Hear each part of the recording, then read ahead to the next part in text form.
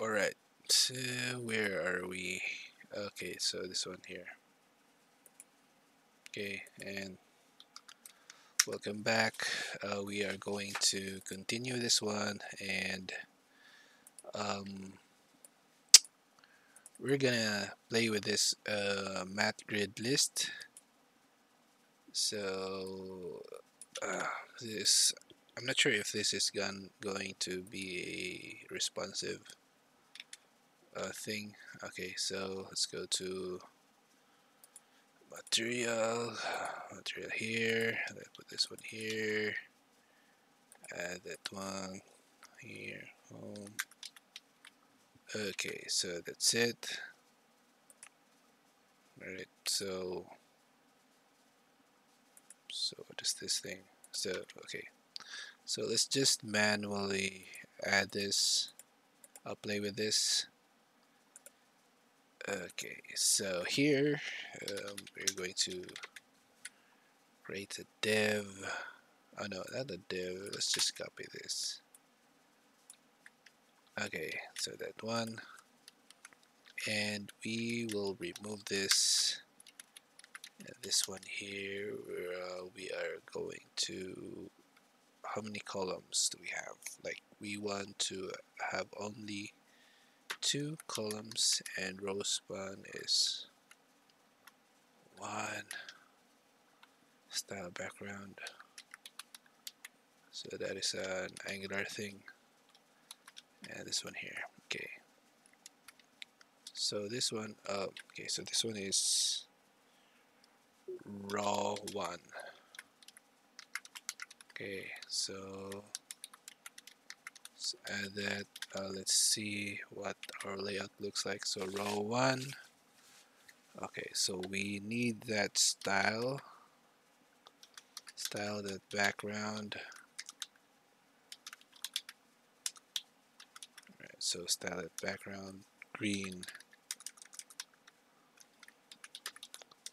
Green here. Right so this one here.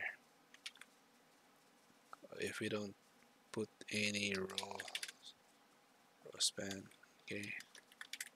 So I'm assuming so this is its row height. What is this row height?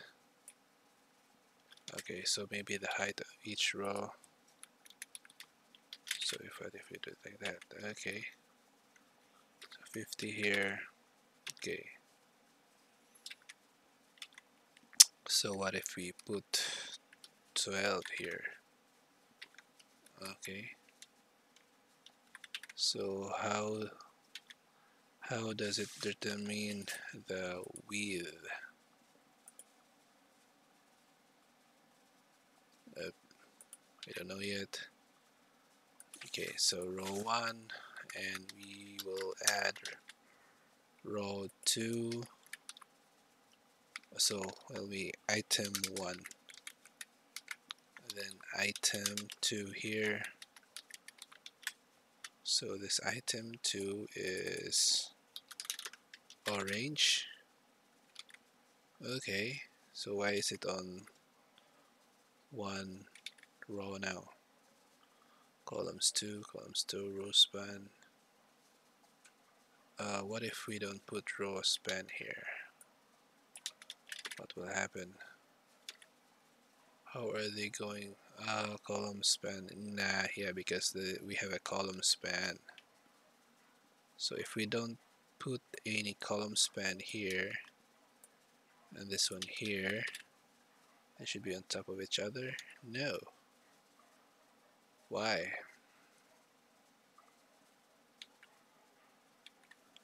Let's see here grid tile.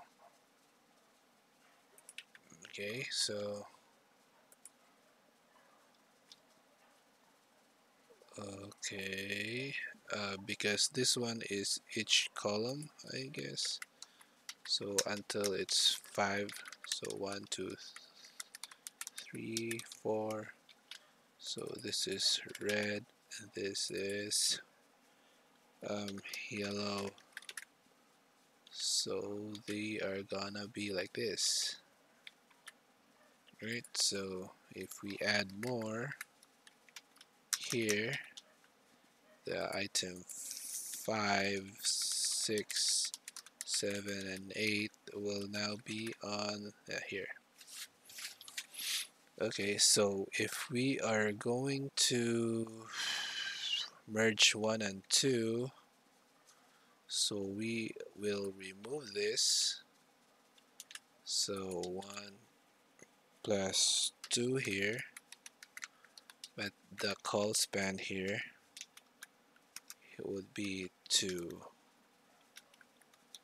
okay see that see that magic there. So if we change this to orange uh, red orange red right. And if we want to merge this 3 and 3 and 7 we can do that 3 and 7 okay so um, how do we do that? Row span is 2 and are we going to remove this? So this is now item 3 plus 7 here and delete this thing okay yeah I think it's good. Now we have to change the background on this one here. So this so that we can determine which one is which. Alright okay so that's it. Uh, that is how to play with this thing. Okay and then if we will change the row height to um, 300 px so it's gonna be to be like that. Mm -hmm. right cool. Now we can add the forms that we want to here. So if we remove this background here okay and we start adding the the fields but let's check first if it's yeah that is not responsive the grid list is not responsive can we make it responsive? How about this one here? Yeah, is it responsive? Oh, yep, nope. So Angular material responsive grid list. Do we have that? Uh, you have to set the cols attribute of matrix dynamically depending on the screen with have to decide on which with okay.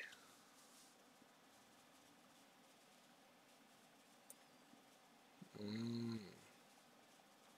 so the cols all right okay so if if this is gonna be dynamic then we will um, update on response on resize. So okay so is this a actual thing? On resize is there an on resize thing here? Ah window that resize here. Okay so window that resize. Uh, can we put this one here on resize. And then something here. Console.log event okay so we can just okay. Let's do this console. Right so yeah that's it. We can we can control this. But I will have to stop it for now. Um, so that is the material grid uh, mat grid list. And we can be able to and in the next video we'll just make it um, dynamic. We'll try to play with how to make it responsive right cool thanks. Bye